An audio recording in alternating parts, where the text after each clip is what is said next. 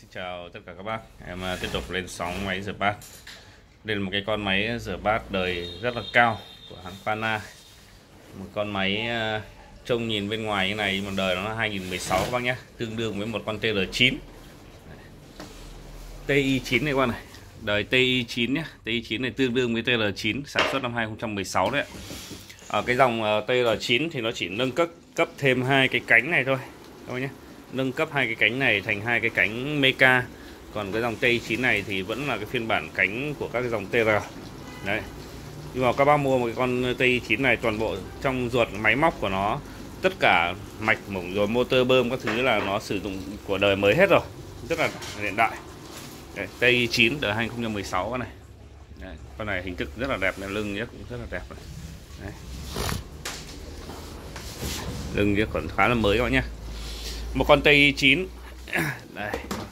Nội thất tất cả đều sử dụng các cái giá đũa màu của TR9 hết rồi ạ. Đây. màu trong nội thất các bác nhé. Các tay phun này tất cả đều sử dụng của TR9 hết. Các cái khay này cũng sử dụng TR9 này. Đây. chỉ có thiếu mỗi hai cái cánh. Tức là nó đến TR9 nó cả tiến hai cái cánh này. Con đời rất là cao. Bảng điều khiển này.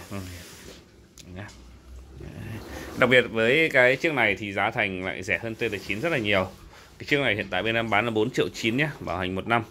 Đấy TL9 thì các bác biết là có giá 6 triệu 9 nhưng con này tất cả máy móc, mọi thứ, nội thất đều chung với TL9 nhưng mà nó lại có hai cánh cửa này vẫn của TR dòng TR7 đổ lại.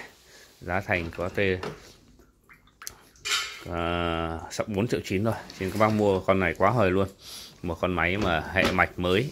Tất cả mọi thứ mới đời 2016 mà giá thì lại rẻ như các cái dòng TR7 thôi. Rẻ giống như TR7 các bác nhé. Đấy TI9 một con máy cực đẹp luôn. Bác nào lấy chiếc này các bác liên hệ nhé. Giá 4 triệu 9 bảo hành một năm đời 2016 chưa phí vận chuyển chưa biến áp. Chào các bác.